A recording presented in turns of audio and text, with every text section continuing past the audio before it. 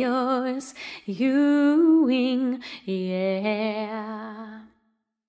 One happy birthday dot com.